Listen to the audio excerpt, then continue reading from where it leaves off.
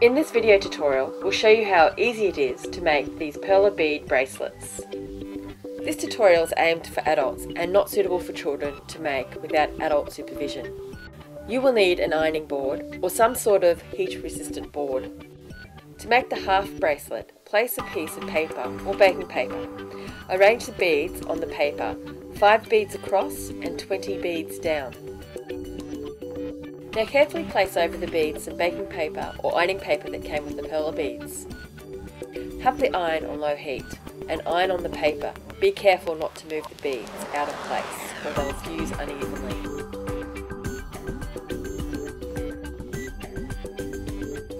Once the beads are fused together, they should stick to the paper.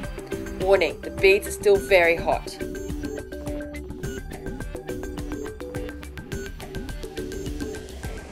Peel off the bracelet and place it around a small glass, or alternatively inside a glass to let it set into a curved shape.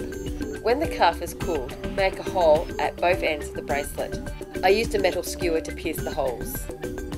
Thread the elastic and tie a knot and do the same to the other end to make the bracelet.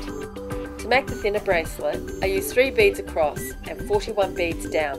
However, you will need to measure your hand and wrist for your bracelet to fit you. Follow the same video instructions as you did with the half bracelet. To keep the bracelet together, pierce a hole either end and thread through a small piece of elastic and tie a knot.